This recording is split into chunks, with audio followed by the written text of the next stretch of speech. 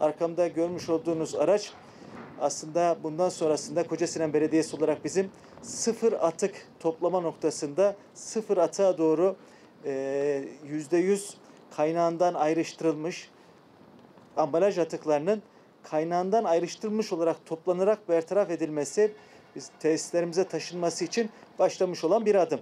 Arkamda görmüş olduğunuz bu araç Türkiye'de ilk defa Kayseri'de Kocasinan Belediyesi'nde Kocasinan yollarında Kocasinan'daki hemşerilerimize hizmet edecek olan bir araç.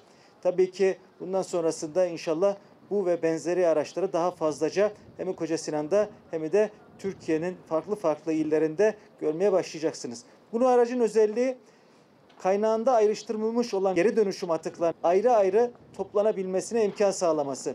Biliyorsunuz biz şu anda ambalaj atıklarını evlerden, çöplerden ayırıyoruz. Ayrı bir vaziyette topluyoruz. Ama Sayın Cumhurbaşkanımızın muhterem eşleri Sayın Emine Erdoğan hanımefendinin himayesinde devam etmekte olan sıfır atık projesi kaynağından da ambalaj atıklarının ayrıştırılmış olarak toplanması ve bu şekilde ekonomiye katılması, bu şekilde çevreyi koruması noktasında önemli bir proje. Ve bu sıfır atık projesinin de hem ayrıştırılması, hem toplanması, hem nihai olarak e, geri kazanılması noktasında son derece önemli olan kısım ayrıştırma noktası. Görmüş olduğunuz araçta birden fazla haznesiyle birlikte bu ürünler tek tek ayrılmış vaziyette toplanacaklar. Evet bu araçta farklı bir nokta daha var. O da pil atıklarının toplanması. Eğer ki çevreye bir pil atıyorsanız biliyorsunuz bunların uzun süre çevrede kalmasından dolayı oluşturmuş olduğu e, dezavantajları burada anlatmama gerek yok. Ama bu aracımızla birlikte artık biz pilleri de kaynağından ayrıştırılmış olarak toplayabileceğiz. Bir diğer taraftan da kızartma yağları, yağ atıkları, evsel yağ atıkları. Biliyorsunuz bununla ilgili Kocasinan Belediyesi olarak hazırlamış olduğumuz mahallelerin içerisindeki yağ kazanım geri dönüşüm kutularımız var. Evsel olarak e, kullanılmış olan kızartma yağlarının toplanması. Aynı şekilde bu arkamda görmüş olduğunuz araçta da bunu gene mahallelerimiz içerisinde gittiğimiz zaman evlerde, binalarda bu atık atığı da aynı şekilde toplamış olacağız. Çevreye vermeyeceğiz. Çevredeki oluşturulabilecek zararlarının önüne geçmiş olacağız.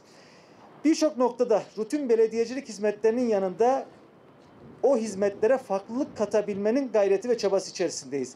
Şu ana kadar yapmış olduğumuz birçok çalışmayla hem şehrimizde hem de ülkemizde bu farklılıklar birçok belediye tarafından da takip edilmekte, örnek alınmakta. Bu şehrim adına gurur verici bir çalışma. Arkamda görmüş olduğunuz bu çalışma da sıfır ata gittiğimiz bu günlerde ki bu noktada şu anda biz evlerde ayrıştırılmış vaziyette toplamaya başlamış bir belediye olarak inşallah önümüzdeki günlerde tamamen ayrıştırılmış sıfır atığı toplayan bir belediye olabilmenin müjdesini de hep beraberce buradan vermiş olacağız.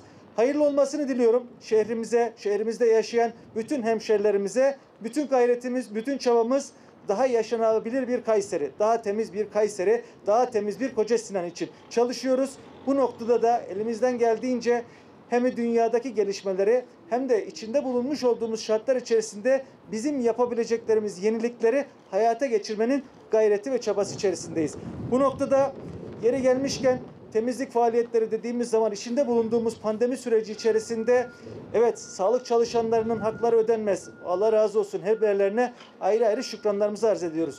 İşin bir diğer tarafında da bizim belediyelerdeki çalışan personellerimiz, özellikle sahada çalışan temizlik personellerimiz. Hem bizim belediyemizde hem diğer belediyelerde, bütün belediyelerde çalışan temizlik ekiplerindeki arkadaşlara da teşekkür ediyoruz. Onlar da büyük bir özveri içerisinde bu süreç içerisinde gayretlerini, emeklerini ortaya koydukları için hepinize hayırlı günler diliyorum.